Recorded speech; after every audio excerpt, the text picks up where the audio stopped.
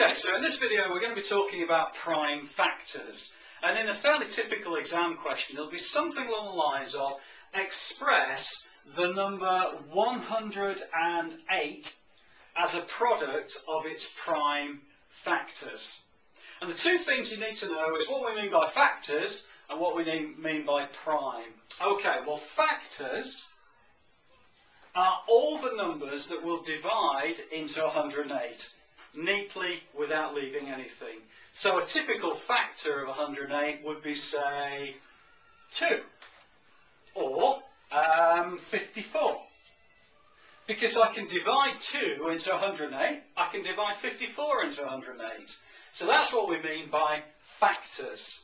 By prime numbers or prime factors, a prime number is a number that is only divisible by itself and 1.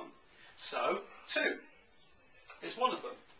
Okay, so if you're asked to express 108 as a product of its prime factors, generally the way that we do it is to use something called a factor tree, where basically we express that number as multiplications all the way down a little diagram, a little tree diagram. So we start with 108 at the top, and what I'm going to do is I'm going to use those two numbers there, and I'm going to say 108 is exactly the same as 2 times 54.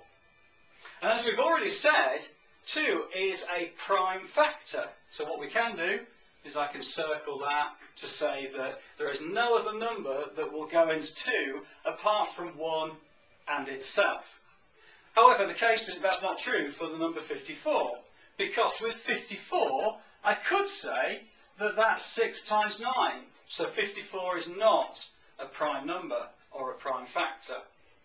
Nor is 6, nor is 9, because with 6, I can multiply 2 times 3, and both of those are prime numbers, numbers that are only divisible by themselves and 1. 9 can be multiplied as 3 times 3. So I'm in a situation now that for the number 108, I've worked out that 2, 2, 3, 3, and 3 are all the prime factors of 108. So where the question says express 108 as a function of its prime factors, what they mean is they want you to write 108 equals 2 times 2 times 3 times 3 times 3. And that's the answer to the question.